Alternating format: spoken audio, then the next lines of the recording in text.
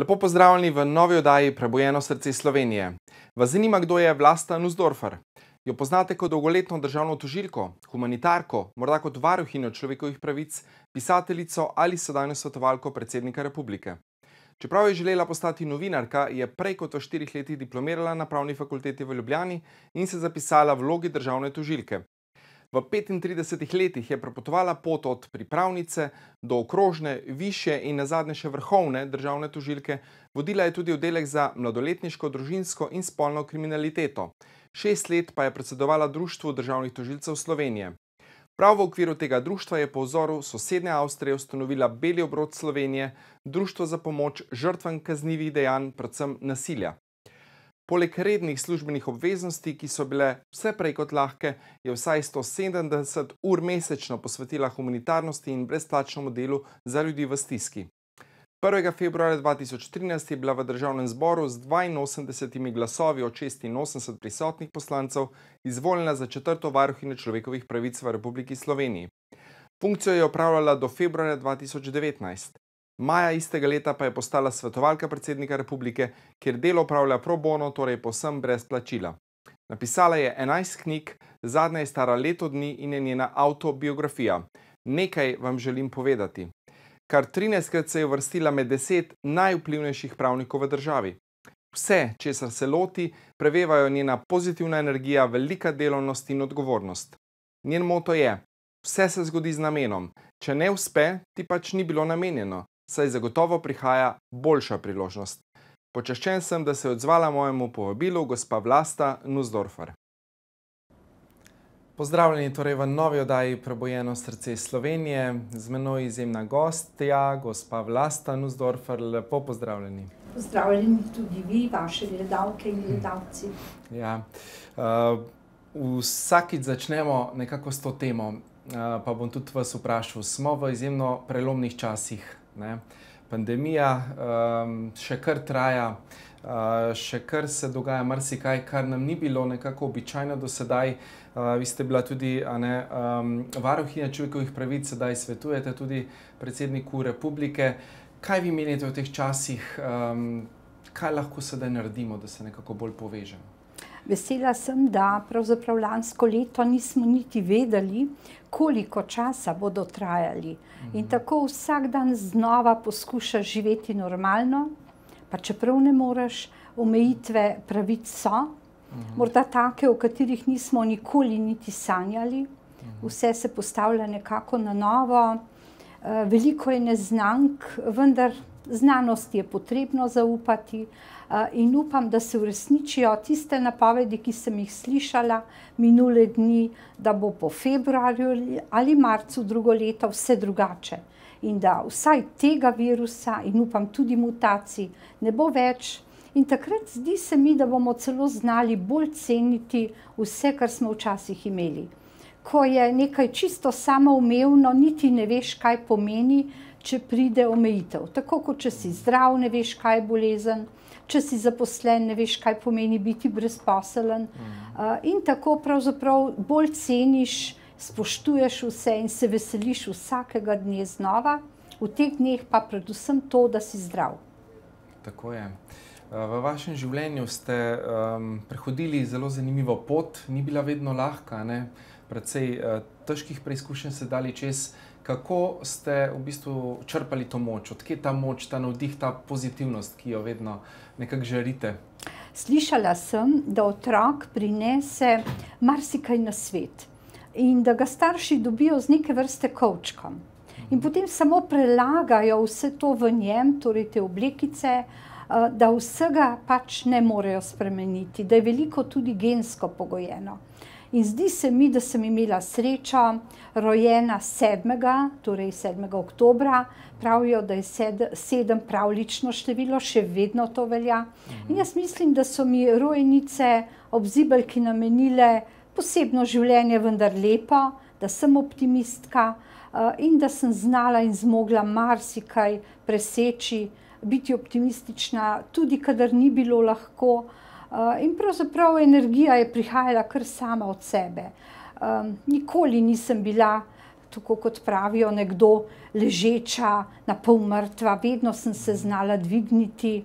Eh, tako da upam, že kot otrok sem bila taka, da mi je bilo to usvojeno. Uh -huh. Odlično. Um, ustanovili ste tudi uh, Beli obroč Slovenije ne, za pomoč, društvo za pomoč žrtvam kaznjivih dejanj, predvsem nasilja. Um, delala ste tudi sveda, na tožilstvu, kjer so bile težke zgodbe. Nam lahko mogoče zaupate, kaj še en primer, ki se vas je dotaknil najbolj in kako je potem potekala ta pot ustanovitve. Uh, mogoče kakšne izkušnje tudi iz tega področja? No, začela sem delati na mladoletniškem oddelku. Uh -huh. Že takrat, pravzaprav kot zelo mlado, mlado mamico z otročki v vrtu, bomo rekli, uh -huh. uh, sem srečevala težke zgodbe mladoletnikov, ki so zašli na kriva pota.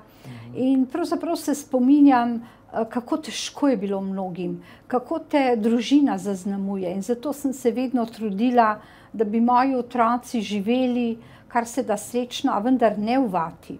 Kaj ti otroci morajo prestati tudi določene preizkušnje. Vidiš, da se znajo potem lažje pobrati. Torej, če imaš otroka vse skozi na očeh, je v neke vrste vati, izobilju, kako bo ravnal, ko to ne bo možno? To se tudi danes sprašujemo v teh časih. No, in seveda, potem sem se nekako zapisala na tožilstvu mladoletniškemu in družinskemu kriminalu šlo je za zelo težke zgodbe, tudi umorov, družinskega nasilja, tako da bi kar težko izuzela eno samo. In s tem je povezan, seveda, tudi beli obroč. Torej, česar nisem mogla storiti v službi kot tožilka, organ pregona storilcev teh kaznjivih dejanj, sem lahko za žrtve naredila popovdne v svojem prostem času in zato smo ustanovili beli obroč. To društvo je ustanovilo pravzaprav Društvo državnih tožilcev, ki sem mu predsedovala, tako da sem ponosna na to, pomagali smo mnogim. In ko me sprašujete za zgodbo, recimo, da je taka plemenita in obetavna zgodba deklice, za katero nisem vedela, da raste in živi v nasilju. Vse je bilo nekako skrito. Ko je imela 18 let, je pobegnila od mame, mama me je o tem obvestila, Takrat seveda nisem vedela, da je bila deklica žrtev nasilja prav te mame, ki je imela tudi psihične težave, živeli sta sami. No in takrat se je zatekla po pomoč, postopkov ni bilo v preteklosti, torej nikoli ni mame prijavila, tudi nihče tega ni opazil. Kadarkoli je v šoli začela tema, da bi rada nekaj povedala, učiteljice niso imele časa za njo, zato vedno polagam učiteljem na dušo in srce, vzemite si čas za tiste otroke, ki želijo pogovor z vami. Morda ste edini, ki jim lahko prisluhnete. No in ta deklica potem po tem begu od doma, mama jo je iskala, se je zatekla k nam po pomoč, uh, imela je tudi štipendijo belega obroča, bila izjemno, izjemno inteligentna, doštudirala je in to uh, na težki fakulteti, ne bom je posebej izpostavljala. In ko je diplomirala, sem bila svojo knjigo Šapkom rož edina na zagovoru njene diplomske naloge. Mi vemo, kako starši hlepijo potem, ko otroci končajo, kaj vse jim pripravijo, že majhnim otrokom ob vstopu v šolo. Ona tega nikoli ni bila deležna. In takrat sva sedli na sok in mi je rekla, veste, ponosna sem na se, kaj ti, imam izobrazbo, ki je nima cela moja družina, prihajala je iz Bosne, njena mama je tu delala, vendar njena matična družina, tudi oče je bil tam, nikoli ni skrbel za njo. In končala je na krasni fakulteti in tudi kasneje dobila službo in še sedaj sva v stikih. To je uspeh, ko nekdo, ki nima dobrih pogojev, mhm. tako močno uspe. To je to, ja. In dejansko Uh, pravite, nikoli v življenju nisem tarnala, sem pa zelo težko prenašala ljudi, ki niso imeli realnih težav. Uh, ker so bili tudi taki, ki jim ni nič manjkalo, pa so se vse čas pritoževali. E, veste, da to mi je bilo pa res težko ja. poslušati. Ja. Ja. Veste, če je deževalo, joj, dežuje. Uh mhm. -huh. Noben problem, vzameš dežnik, ja. greš ven, mogoče bo jutri sonce. Ko je bilo sonce, so ta isti ljudje govorili: A ti vidiš to vročino, mhm. grozno je. Uh mhm. -huh. Jaz to zelo težko prenašam, vse, kar se bo hmal daš. Ja. Zdravi ljudje, denar, Tako. joj, kam bom šla smučati. Ja. Pa Bog ve, če bomo lahko šli ker napovedujejo slabo vreme, pa menjali smo lokacije. To je problem, sem rekla. Imaš vse, kar lahko imaš pa nisi srečna ali srečen.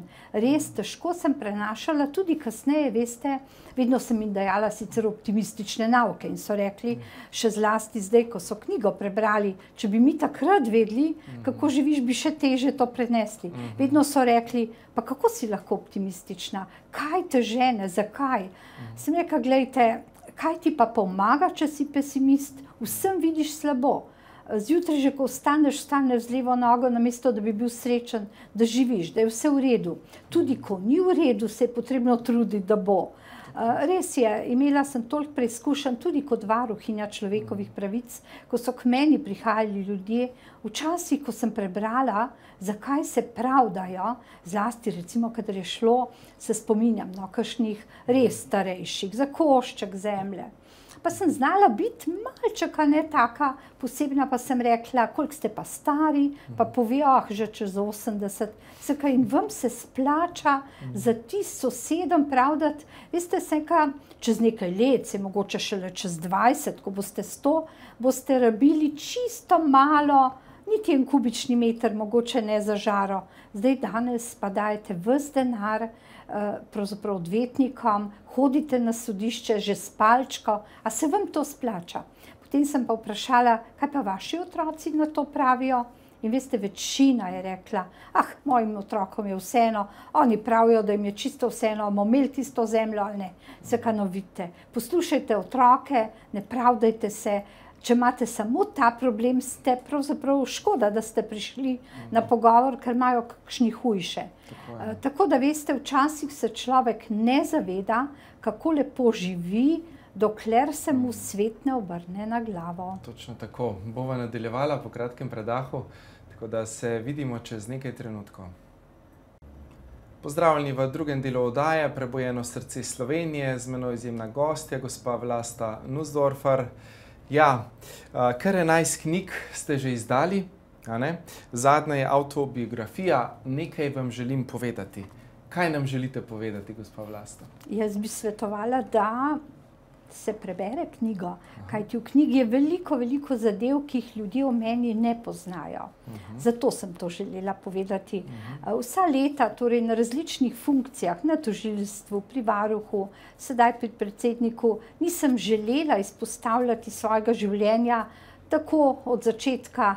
Do sedanjih časov, kaj ti nisem izdelal prav, da bi človek sebe postavljal v spredje. V spredje mora stopiti delo, ki ga upravljaš. In čeprav so me novinari kdaj intervjuvali, sem seveda to na kratko povedala, eh, tudi pokazala, včasih tudi delček družine v kakšni reviji, eh, tudi spregovorila o kakšnem delu življenja, vendar ne pretirano. In zato je ostalo veliko skritega, in zdi se mi zanimivo, da lahko s tem naslovom odprem razmišljanja uh -huh. o sebi. Ko ljudje preberejo, moram reči, da so odzivi neverjetni. Uh -huh. Dobila sem ogromno pisem. Veliko ljudi mi je celo zapisalo, veste, tudi meni se je dogajalo marsikaj podobnega. Uh -huh. Vidim se v vaši knjigi, doživel ali doživela sem nekaj podobnega. Eh, veliko, veliko ljudi je pa zelo presenečenih in pravijo, kako ste uspeli vse to skriti mi o vas tega sploh nismo vedeli. Mhm. Celo najbližji, celo recimo kolegi, marsičesa niso vedeli. Mhm. Veste, ne moreš avtobiografijo skozi svoje življenje pripovedovati. Težko. Mhm. Lepo jo je napisati in z veseljem sem sprejela povabilo Beletrine in jo napisala -huh. v zelo rekordnem času. -huh. Jaz zelo rada pišem, v štirih mesecih je bila napisana, uh, potem pa takoj, kmalo zatem tudi izdana. -huh. uh, res mi je bilo tako neverjetno lepo pisati. Pravijo celo, da pisanje pomeni terapijo. Zato, ker eh, če ne moreš vsak dan ljudem pripovedovati, nimajo časa, tudi ni prav, je lepo, če to napišeš. In ko sem napisala, sem pravzaprav za kakšno poglavje rekla, joj, če bi vedela, da bo tako, ne bi šla po tej poti, bi izbrala drugačno, lažjo. Mhm. Veste, vendar to je tako kot čmrl. O enem čmrlu sem napisala, da glede na vse zakone, čmrl, glede na krila, ki jih ima težo, ne bi mogel leteti. Vendar on tega ne ve in kar leti. In tako tudi jaz nisem vedela, kaj me čaka, niti za naslednji dan, in sem kar letela, bomo rekli. Tako da sem vesela, da mi je uspelo to knjigo napisati. Lepo se bere, pravijo, da najpogostejši izraz vseh, ki so jo brali, je bil požrl ali požrla sem jo. Pa vzemite, kakor hočete. Odlično, odlično. Koliko strani ima? Ja, kar je njih 300, 400, bela bi jih lahko 500, 600, precej smo krajšali, tako da materijala imam še veliko. Še veliko, ja. Že prej smo se pogovarjali, da, da bo že kmalo 12 ne, na vrsti. Ja, imam ponudbo, da jo napišem čisto drugačno, ja. to ne bo autobiografska, na nek način bo sicer, to bodo taki hudi, hudi primeri iz moje prakse, tožilske, uh, tako da se bo najbrž kar lepo brala. Odlično. Uh, bova dala tudi uh, potem eno nagradno vprašanje. Sicer tukaj imamo prvo knjigo. Ti morate pokazati, da je oranžno. Ja, ja. Pokazal. Torej, naslov te prve knjige, uh, mogoče lahko celo vidite tukaj, oziroma pa Če malo pa ne, pa ne uganejo, Tako ja. pa pobrskajte. Uh, tako da, mm, kakšna mogoče anekdota oziroma zgodba še iz te knjige, pa mogoče kakšen primer iz zadnje. Aha, no, poglejte, kako je nastala ta prva knjiga. Ko smo ustanovili Beli obroč, si poln optimizma in rečeš, to bo društvo, ki bo pomagalo žrtvam. Napisali smo tako kot v Avstriji, Avstrijci so bili naši botri, eh, oni imajo Weissering, mi imamo Beli obroč Slovenije.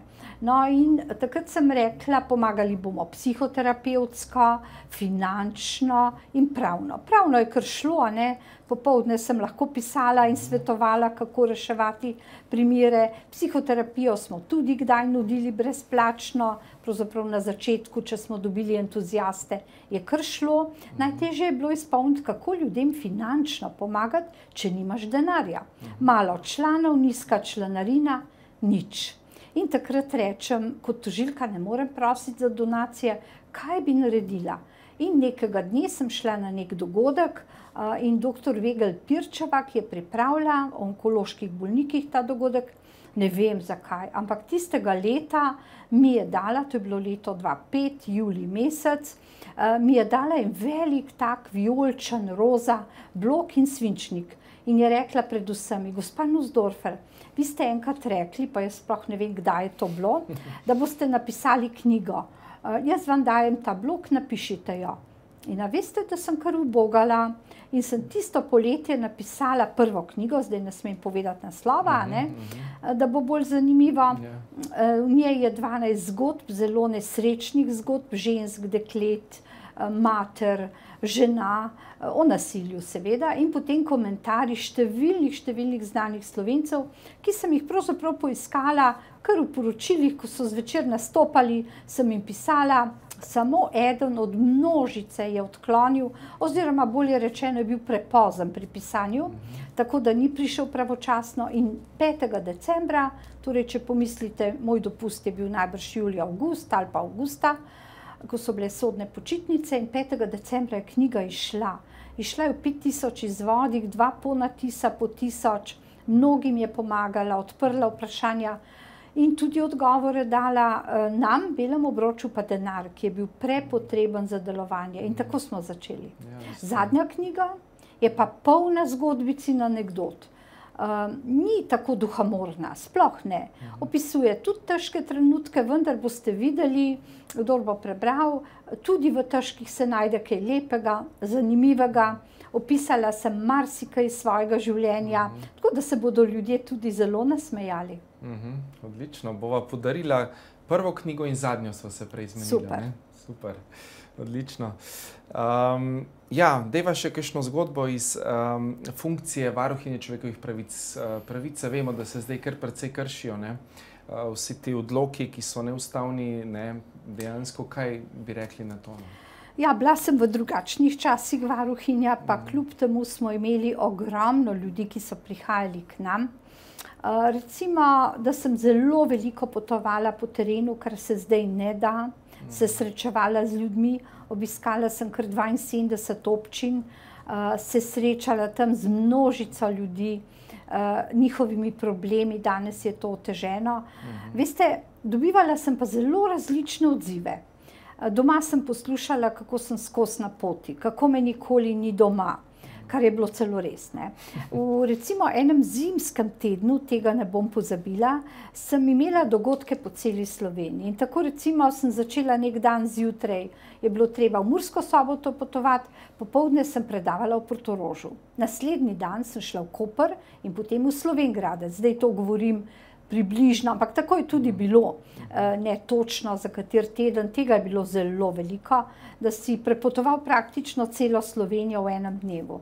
In ko sem v nedeljo, jaz sem veliko krat, praktično vsako nedeljo, šla v službo, kaj ti edino tedaj je bil mir. Ni bilo telefonov, čeprav en je bil, no se spomnim, enkrat en prav hud na telefonu, ki ni vedel, koga kliče. Eh, no in ko sem prišla v službo, sem v miru delala vse nedelje. In nek gospod mi je napisal takole: Spoštovana gospa varuhinja, za vas bi bilo pa zelo dobro in pametno, da bi kdaj iz vaše tople pisarne pokukali na teren, da bi videli, kako ljudje živijo in delajo. Se nisem vedela, kaj ne rečem. Cel teden potovanj, mraz, različne okoliščine, kraji. Uh, in potem slišiš od nekoga, ki očitno nima pojma, kaj delaš, da bi bilo zelo dobro, da greš malček ven iz tople pisarne. No, in potem sem to doma pokazala možu in je rekel, pa da mi ga kdaj na telefon, najdi mi tega človeka, da mu povem. Ja. No, in tisto nedeljo, eno nedeljo se spominjam, je noro zvonil telefon v pisarni tajnice. A veste, prav tako, kot da te nekdo išče, zdaj imel si že mobitel, vse pa ne bom dvigala, pa je zvonila, pa prekinila, pa spet. Pa se kar nač, to pa očitno nekdo, ne vem zakaj, če me rabi, kliče k tajnici, bom pa dvigala. In dvignem in se je usulo uh, jaz imam tega dovolj, jaz te to ne morem več prenašati. Jaz sem bila čist hin, sem rekla, kaj mi je zdaj namenjeno. Sploh nisem uspela povedati, ne vprašati, kdo kliče, ne povedati, kdo sem. Jaz imam tega dovolj, tukaj je pritožba, to morate resno vzeti in to in potem komaj, komaj izdavim, rečem vmes, oprostite, koga ste klicali, aha, rečeno je bilo še, eh, ne bom več plačeval, si mislim, da se nas ne plačuje, dobro, država te ne, ampak ja. mene osebno liho ne. Ja. ja, jaz pa ne bom več to plačeval in podpiral in to in imam dost in dost in dost. In potem rečem, joj, gospod, a bi povedali vi, kdo ste, koga ste klicali. In potem rečem na drugi strani, čakajte, no, prav, a veste, da mi je vaš glas znan? Uh, sem rekla, uh, ja, pravi, pa niste vi ta Nusdorfer. Se kaj, ja, a ste presenečeni? Prav, vsi nisem vas klical. Prav, veste, sem klical na TV, ker ni prenosil neke športne tekme. Aha. In sem se tako razburil, ker sem mislil, da bom to, ne vem, ali je bilo smučanje, kaj je bilo takrat. Uh mhm. -huh. In on ni imel tega prenosa Aha. in se je tako razburil. In vse, kar no, gospod, potem pa lahko še malo poklepetava in svane. Uh -huh. In mhm. potem sem ga pomirila uh mhm. -huh. in je rekel, ma se zdaj jih pa sploh ne bom več klical. Zdaj sem zadovoljen, prav. Ja. A vi ste v službi v nedeljo? Sem kaj, ja, sem in tako. Uh -huh. Tako da, gledajte, na koncu bi še rekel, sem klical, pa niso dvigali telefona. Ja, ja. Tako da neka številka je morala biti podobna, vsaj ena, da se je zmotil, ne? bil je pa tako razburjen. Tako da marsikaj doživiš. Ja. Marsikaj ne, veliko izkušenj. Oh, izkušenj imam pa res, res veliko. Tudi ko so ljudje, veste, že začeli govoriti. Meni je tako pravo, pa seveda tužilstvo in sodišče kar prav prišlo. Pa so kdaj prinesli goro papirjev, to je bilo najbolj zanimivo. In so razprostrli pred mene in rekli: Vidite, to je krivično. Tukaj nisem uspel ali uspela, Pa sem rekla, ampak veste, en papir pa tukaj manjka. Ne, ne, ne, ne, ne gospa, vse sem vam dal. Ne, se ka pogledajte, tukaj se pa spoznamo, ne, da če je bila ta obtožba, pa potem ta sodba, pa imate kar naenkrat naslednjo, nekaj, nečesa mi niste dali. Uh, potem je bila pa tišina. A ja, nekaj res ne, ampak se to ni pomembno. Vse, kar veste, je zelo pomembno, mhm. ker zaradi tega sledi to. Ne? Tako da, veste, tudi ljudje hočejo kdaj prikrojiti to resnico, mhm. hote ali tudi kdaj ne hote, vendar da te zavedajo. In recimo zelo zanimivo je bilo v oddajah v živo.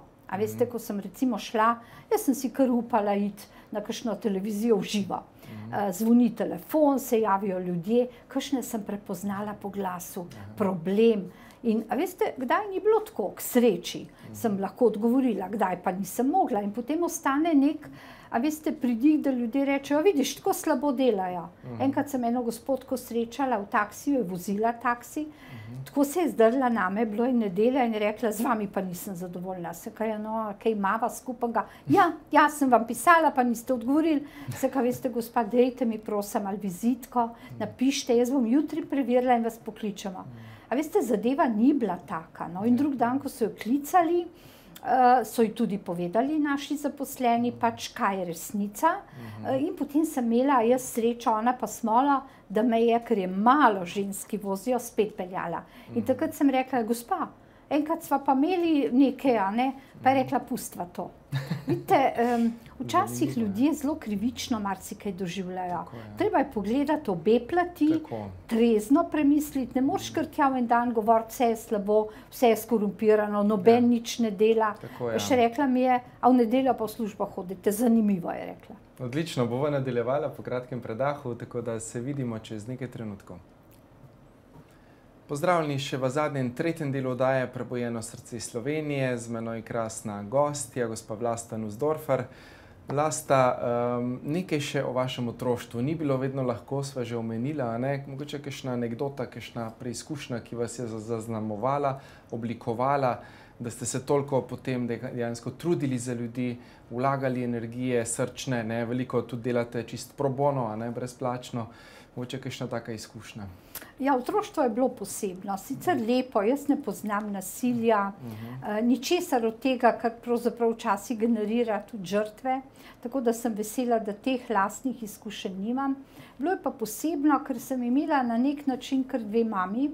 Imela sem lepo, lepo otroštvo, rasla sem v Kopru, kot dveletna deklica sem prišla iz Bat pri Novi Gorici v Koper. Uh, in tam sem marsikatero ušpičila, uh, tako da, ampak tako prijazno, veste, noč hudobije, bila sem priden otrok, ubogljiv. Uh, ampak spominjam se marsičesa, recimo enega dogodka, uh, ki je mogoče bil poseben. Uh, uspelo mi je iti na Kopersko sodišče, kot bi vedela, kje bom kasneje hodila v življenju. Imela sem 5-6 let. Moj stric je bil sodnik in ker tetek je bila zelo stroga, ni bilo doma, sem ga preprosila, če grem z njim v sodno dvorano. Uh, stric je bil zelo resen, pošten, pravičen, najbrž zaradi njega sem se tudi za pravo odločila. Uh -huh. No, ampak mi je rekel, da moram biti zelo, zelo pridna in sedeti čisto pri miru. Jaz sem to obljubila in tudi tako mislila. Vendar se mi je za trenutek zazdelo, morda je bil to zametek varuhinje človekovih pravic, da moj stric izgublja na tej moči, da ni dovolj močen, da pravzaprav ne zmore ohraniti tišine v dvorani. Dva odvetnika sta se prerekala med sabo, vsak je bil na eni strani. In veste, da sem skočila dol z tiste klopce in zaupila. Tišina v dvorani, ubogajte strica, ker je sodnik. Meni se je zdelo to pravično, seveda potem nikoli več nisem smela na sodišče, vsi so se smejali in spraševali, kaj bo z tega dekliča, da pri teh letih dela red v sodni dvorani. No, potem so tekla najstniška leta, gimnazija je zelo dobro opisana, ta je bila v Novi Gorici. Potem pa pravna fakulteta, ki sem jo kar hitro Rekordni začela čas, in ja. končala, preko v štirih letih. Ja. Uh, bil je otroček na poti, zelo zgodaj sem se poročila, že v tretjem letniku. Pa sem mislila, da otrok še ne bo, pa je kar hmala, ne sem bila noseča in sem rekla, jaz pa moram prej končati, kot pa rodim. In to sem tudi naredila. In potem je šlo naprej, pripravništvo, še en otroček. Pri dobrih 26 sem imela že praktično vse za sabo. Pravno fakulteto, eh, tri leta skoraj službe, pravosodni izpit, dva otroka in sem začela hoditi na obravnave. In na prvi, taki zelo težki, so mi jo dali, takrat ni bilo delitve, nobenega strokovnega sodelovstva. Uh, me je sodnik, to mi je bilo kar malo hudo in to še zdaj se tega spominjam, en zelo tak starejši, se po mojem ni bil tako star, kot smo takrat mislili, da je, a ne, ker smo bili še mladi, danes bi se mi zdel v najlepših letih najbrž, je rekel, kaj vi boste zastopali to obtožbo? A, vzel mi je kar mala, ne, Lana, in sem tiho rekla, ja, meni so dodelili ta spis. Bili so trije odvetniki, kar ugledni, trije v priporu. Uh, je rekel, pa vi imate že pravosodni. Ja, se kam imam, prav skromno. Uh -huh. No, ampak sem uspela in tako pravzaprav so vsi trije odšli iz dvorane obsojeni, odvetniki so pa pa rekli, uf, ta je pa opasna. odlično, odlično. Ja, tako da dogodkov je bilo izjemno veliko, a veste, 35 let tožilstva, ja. kaj vse prinese. Ogromno, ogromno različnih zgodb, izkušenj, ja. preizkušenj. Res. Ja. Kaj pa še to zdaj zadnjo področje? Zdaj svetujete tudi mhm. predsedniku države, s čim se recimo ljudje obračajo na vas, kakšni so ti primeri v teh časih? No, jaz sem po 41 letih, 35 tožilstva, 6 let varuhinje, zaključila službeno pot. In takrat sem mislila, da bom samo še doma eh, v miru ustvarjala, morda kaj pisala. Ampak se je obrnilo drugače, predsednik me je poklical, če bi bila njegova svetovalka kako to zavrniti. Meni se je zdelo to kar zanimivo. Je pa takoj povedal, da je to pro bono funkcija, to ljudje kar ne verjamejo. Mhm. Torej, popolnoma brezplačno. Mhm. Zato imam malo več svobode, pridem lahko kasneje, grem mhm. prej, mhm. ni teh nadzora, mhm. takega, kot če bi bila ne v redni službi. Mhm. Ja, eh, pribiram pisma državljanov, zlasti na teme, ki so ta hip zelo aktualne. Mhm. Eh, predsednik nima moči, ki mu jo pripisujejo ljudje. Nima ne izvršilne in ne zakonodajne. Torej vse te in tudi ne seveda na področju pravosodstva. Eh, ne sme posegati v postopke. Ljudje pišejo vse mogoče. In enkrat sem eno gospod, ki povabim veliko ljudi, rečem, če želite, pridite na pogovor, pa se pogovorimo. Ne na zadnje ljudje tudi ne morejo kot vetnikom, si ne znajo razložiti zadev. Eh, meni je pa to tako blizu, da rada svetujem. Eh, no, in jim povem in rečem, včasih eh, bil en postopek sodišča. Gospa se kam pa kaj pričakujete, ste pisali prav predsedniku? Ja, je rekla, kaj? Se on je ta glava ni rekla, bo pa ja vplival na policijo, jaz nisem kriva tega postopka. Eh, ne smete spustiti naprej, joj se ga gospod, te moči pa nima predsednik. In ravno tako je pri vseh teh ukrepih. Ljudje želijo, da bi prav predsednik posegel v odrejanje ukrepov. Vemo, da je to na izvršilni, predvsem pa na zakonodajni oblasti, da spreme zakone, eh, da uredi zadeve na tem zakonodajnem področju. Tako da je tudi veliko vroče krvi pisanj, za katere se moraš kdaj vdahniti, ko jih bereš potem grem z njim na kakšne dogodke, včasih on ne more, je pokrovitelj številnih dogodkov, obletnic, marsičesa in tako z veseljem ga nadomestim, imam govor, nastop, to mi je zelo blizu. Potem seveda so kolegi, na katerih tudi kaj vpraša, želi kakšen nasvet. Seveda je pa to politik, ki ima dolg staž bil je že čisto vse, kar je možno poslanec, evropski poslanec, predsednik državnega zbora, vlade in države, že drugi mandat. Torej je težko reči, da bi kaj pametnega zelo svetoval, uh, ker ima toliko izkušenj kot nihče od nas. Štirje smo pro bono svetovalci, štirje so pač na seznamu in v rednem delovnem razmerju, osem nas je takih svetovalcev, ki jih ima. Uh, in mislim, da je ta vloga uh, za konec karijere, ob tem, ko veliko veš in znaš, mislim, da največ, ne, ko si že toliko star, mhm. toliko služb si že imel in opravljal, eh, da ni težko napisati tudi kakšnega mnenja, eh, se kdaj oglasiti, se udeleževati dogodkov, ki so podobni, kot ko sem bila varuhinja človekovih pravic. Eh, seveda je to tudi častna funkcija, če ni plačana, pomeni vsaj nek ta, neko tako čast. Eh, predsednik seveda dobiva veliko opozoril, pisem, da ni vse, kar dela prav, vendar veliko ljudi res ne ve, kakšna je njegova vloga, kakšne so pristojnosti. Morali bi si prebrati ustavo in točno videti, a to, kar mu nalaga mhm. država oziroma naša ustava, izpolnjuje ali ne.